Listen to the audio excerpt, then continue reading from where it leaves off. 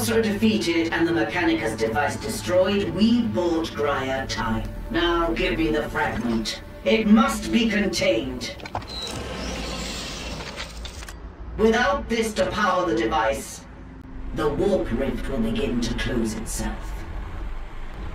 But this isn't over. The scars of chaos run deep. Who knows what foul entities linger here and on Graia? There are still heretics to purge. Ready your weapon.